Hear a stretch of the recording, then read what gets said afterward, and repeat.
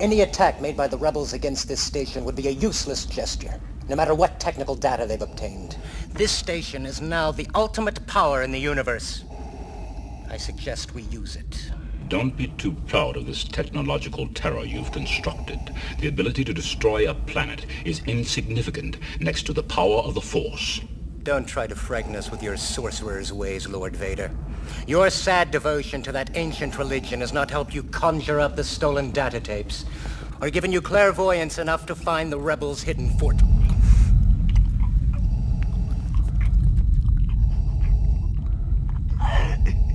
I find your lack of faith disturbing. Enough of this. Vader, release him. As you wish.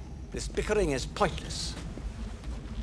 Now, Lord Vader will provide us with the location of the rebel fortress by the time this station is operational.